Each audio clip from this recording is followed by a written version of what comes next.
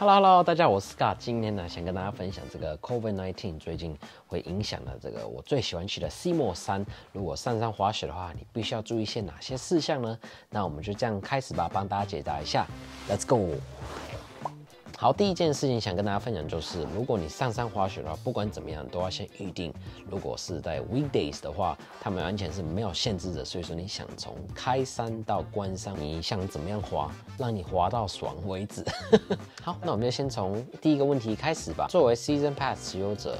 如果只是出现在周末、假日的话，尝试滑雪会发生什么事？那其实是没办法的，因为不管怎么样，就算你连是 Season Pass 持有者哦，也是在网络先预先预定，或者他的 RFID 不让你通关过去。很多人问说，为什么只限制四个小时？因为他们官方据去年的统计就发现说，很多人在这个滑雪的时候，大不多花三到四个小时时间，很少人超过。Season Pass 持有者可以预定几天前来订这个滑雪活动了，就说可以在四天前来定出你想要的时间点。你如果在 weekdays 滑雪的话，会发生什么事？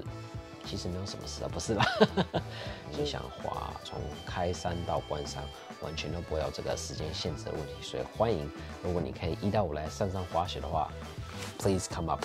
你的时间，你的 time slot 到的话，还可以继续滑雪嘛？或者说，B B 不行哦，因为他们卡片呢，先变成晶片的 RFID，就像 Whistler 一样，就是你进那个通关卡，那个 B B 他们就会打开，要不然的话它会关起来。Season Pass 持有者可以一次多订 time slot 吗？其实不行啊，因为官方早要注意到，应该很多人会这种事情。不过就说一次就只能一次性的选一个 time slot，所以说你想要在中午上山到四点，那完全请请你去滑。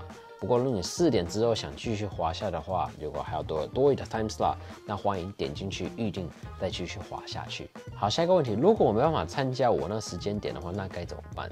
那 Simon Mountain 表示，就是说他也了解每个人事情，就是 anything happen 啊，就麻烦打一下这个专线，让他们知道说，哎，不好意思，我没办法来了。那他们可以把这个时间留给下一个人。如果我不想在二零二零到二零二一滑雪的话，那该怎么办？那没有关系，他可以做一个 deferral program，就是可以延迟时间。如果是在怕疫情爆高的话，那其实可以移到二零二一到二零二二。所以大家记得在十一月十五之前。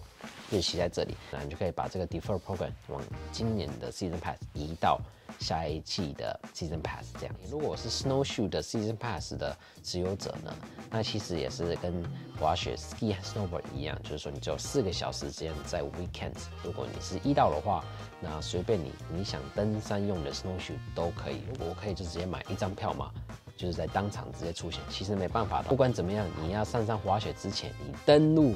山顶之前，你就是一定要先预定，上山前先预定好，定好一个时间来继续滑雪。好了，目前就这样子啊，这是我以上想跟大家分享的。s i m o Mountain 如果来滑雪的话，必须要注意一些哪些事情？希望这些问题对你有帮助。如果有任何疑问的话，请欢迎在影片以下留言哦，我会尽量帮你回复。如果喜欢这个影片的话，请帮忙订阅、按赞、分享。啊，拍谁太快了！